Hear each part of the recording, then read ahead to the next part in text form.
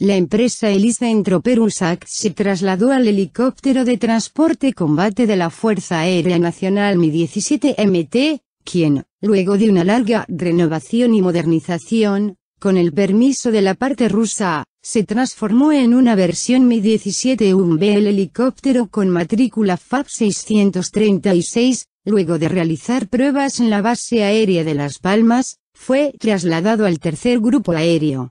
El helicóptero comprado a Nicaragua en 1992 se sometió a una extensa reparación y modernización, incluido el reemplazo del motor TVZ-117MT por el TVZ-117VM, que debería proporcionar al helicóptero una mejor altitud.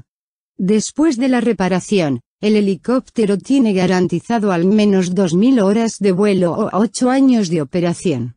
La empresa Elisentro Perusac trabaja desde el 2005, colabora con la empresa Helicópteros de Rusia y brinda reparación y mantenimiento de helicópteros rusos tanto civiles como militares. La empresa está ubicada en la base aérea, Las Palmas.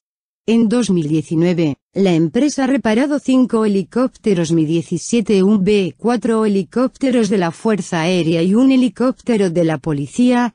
En el 2020, Dos más helicópteros Mi-17 UMB de la Fuerza Aérea del Perú fueron reparados.